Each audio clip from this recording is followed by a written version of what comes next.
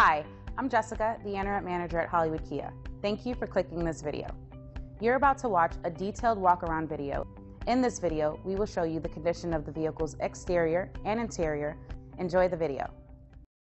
Take a ride in the 2025 Sorento.